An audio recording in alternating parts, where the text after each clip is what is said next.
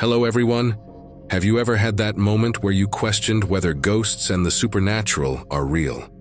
Well, get ready to have your beliefs challenged because today, we're delving into a story that might just make you a believer. Imagine a seemingly ordinary family moving into a house with a past so chilling, it'll make you second guess what goes bump in the night.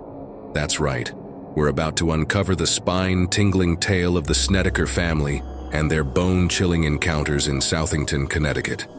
So buckle up because after hearing this, you might just find yourself looking over your shoulder in the dark. Please take a moment to hit the like button and subscribe to our channel for more fascinating stories like these.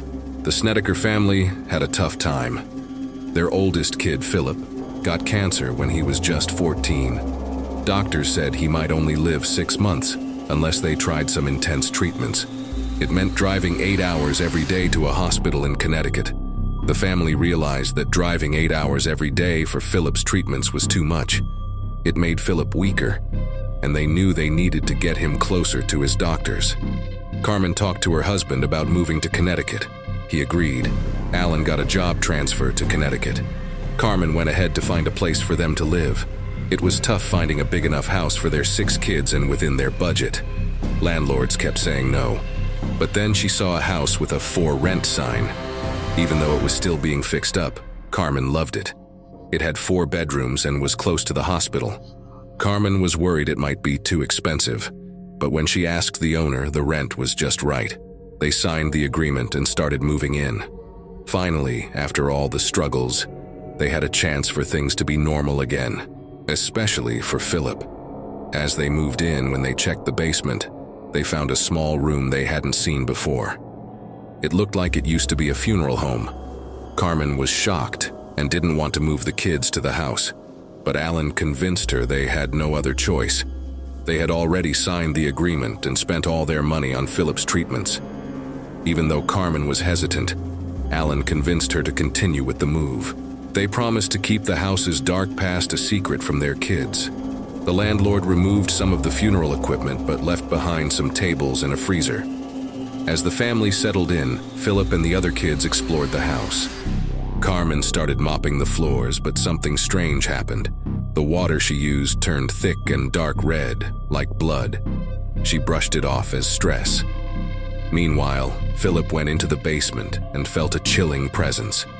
He heard a voice calling his name from a room. Terrified, he ran upstairs and told his mother they needed to leave because he didn't feel safe.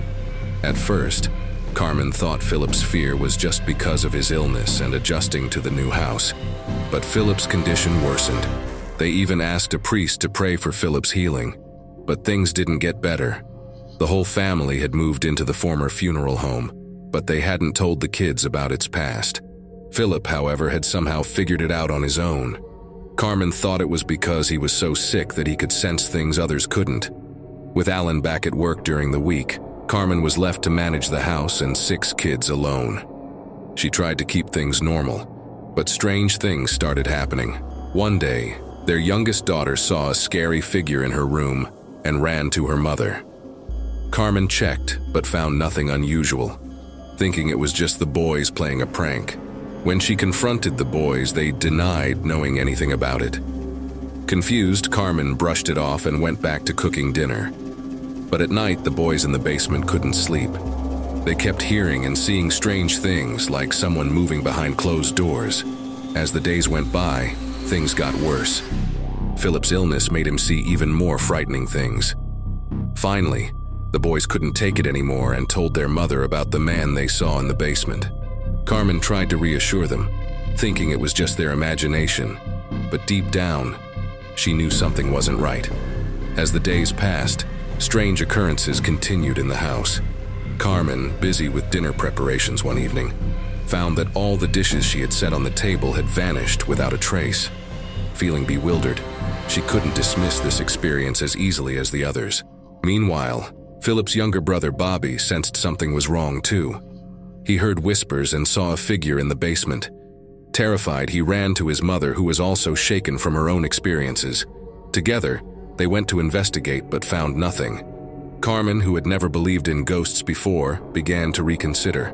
Alan arrived the next day, just as a winter storm hit. Concerned about the kids' fears, he decided to address the issue at breakfast.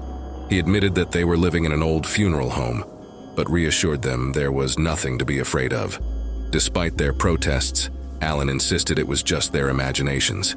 He asked Philip to set an example for the other kids and not to scare them with ghost stories. Philip's treatments drained the family's funds, and strange happenings continued, including crucifixes disappearing from the house. The nightly disturbances became more frequent, with Philip and Bobby seeing the man in the lab room and other apparitions. Despite their terror, Alan dismissed their experiences once again, forcing them to go back to bed.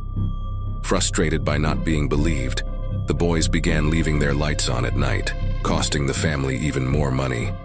Alan, overwhelmed by the mounting debt, removed all but one light bulb from each of the kids' rooms in an attempt to save money.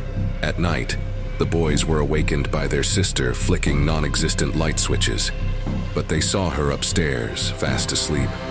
They realized something sinister could take the form of family members. Meanwhile, Philip heard a voice calling from the lab room. Tired of living in fear, he decided to confront it. Inside, he faced a man with blood-filled eyes who whispered about the house's past. After this encounter, Philip's personality changed. He isolated himself in the basement, pushing away his brother. Despite his remission, Philip seemed indifferent.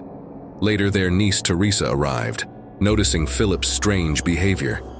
He confided in her about the paranormal activity, feeling isolated and unheard. He shared terrifying experiences, including a demonic presence urging him to harm his family. Philip's hatred spread tension in the household. Daily fights erupted, especially between Philip and his father, who resented him for their financial troubles. Philip's diary revealed nightly visits from the demon, pushing him to do unspeakable things. Philip confided in Teresa about seeing trapped souls in the basement. Suddenly he attacked her, fleeing into her uncle's arms. Teresa, disturbed by the dysfunction, wept in her bed. Carmen gave her a rosary for comfort, which she wore that night. The Parker family believed something evil lived in their house and wanted it gone. They called their priest for help. He listened to their scary encounters but told them to forget about it, and it would stop. But it didn't stop. Karen, a family member, reached out to demon experts Ed and Lorraine Warren. After arriving at the house, they immediately sensed a demonic presence. With their guidance, a team documented the phenomena, enduring eerie experiences themselves. As the attacks intensified, Carmen became the primary target, tormented by guilt and fear. These experts believed the house was infested with a bad spirit. They needed the Catholic Church to approve an exorcism, which is a rare thing, so they moved into the house to record proof. After weeks of investigating, the church finally approved the exorcism. A priest named Father Richard came to do it. During the exorcism, Father Richard felt like he was being attacked by something he couldn't see. However, in the end, the family felt free from the evil presence. They believed their faith had helped get rid of it, and it was finally over. After the exorcism, they packed their belongings and moved out, hoping to leave the nightmare behind. Yet lingering doubts remain. The involvement of the Warrens, well-known demonologists, adds a layer of intrigue and credibility to the narrative, especially considering their reputation all over the world. Ultimately, the interpretation of events is left open-ended, leaving room for individual beliefs and perspectives on the supernatural. It's a story that raises questions about the nature of evil, the power of faith, and the human capacity to confront and overcome darkness. Thank you for watching. If you enjoyed this video, please be sure to click the subscribe button and turn on the notification bell. Until next time, stay cautious and remain vigilant.